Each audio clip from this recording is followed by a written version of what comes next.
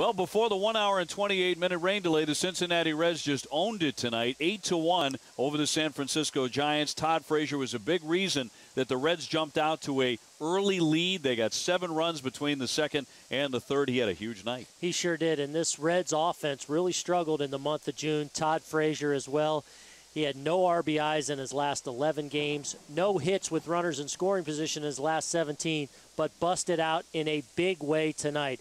A hit with runners in scoring position to get it started, and then a mammoth three run homer. And the Reds were really off and running early and often against the beat up Giants team. Would have been interesting to see had they not scored all those runs how many runs would Bronson Arroyo have needed Rick Sutcliffe? He wouldn't have needed many. You know what? And he's following up what probably was his worst start of the year at Oakland. Four innings, he gave up seven runs, but he has had a lot more success here at home, and he absolutely dominated this Giants lineup tonight. He could have easily gone nine innings, only gave up a couple of hits. He gave up the solo home run to Brandon Belt, and he, like the rest of the Cincinnati Reds team, loves to play here at Great American Ballpark. He runs his home record to six and one one. The Reds right now are 27 and 14 at home. They just got off a tough road trip.